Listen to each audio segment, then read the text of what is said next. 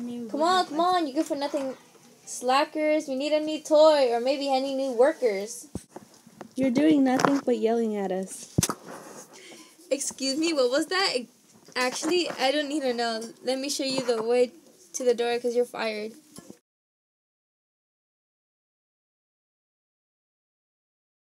The world spins so fast, dude. Dude, I don't see any dudes around here. Only idiot mouth breathers polluting my air. What what the heck are you talking about? I don't care. Just get away, you're fired. But but but but but my grandma.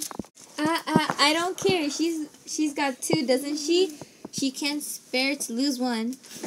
Hmm, boss, maybe we can make a toy around the idea of the world spinning, like a spinning toy. What?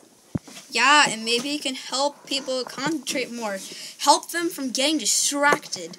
It could come in different colors and shapes and weights.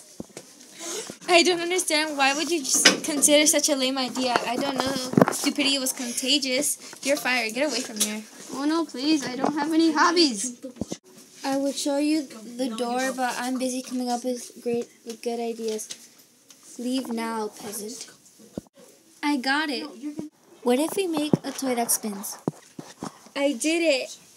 I am the best. My genius cannot be outmatched. My favorite scent, money. Are you the one who claims the idea of the invention of these fidget spinners? The one who owns this establishment? What? Madam, you're fired!